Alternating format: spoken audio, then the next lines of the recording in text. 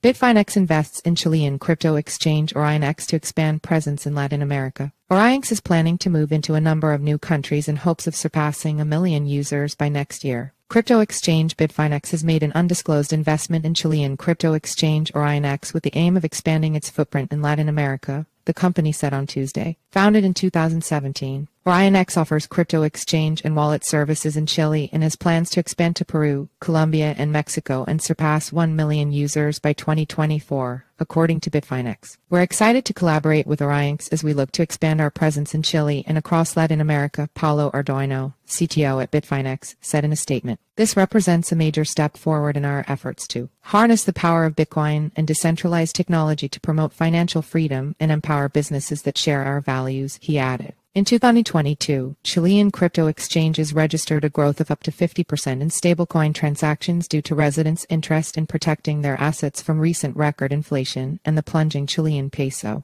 Bitfinex in April was granted El Salvador's first license for digital asset service providers, allowing the company to issue and offer secondary trading of assets.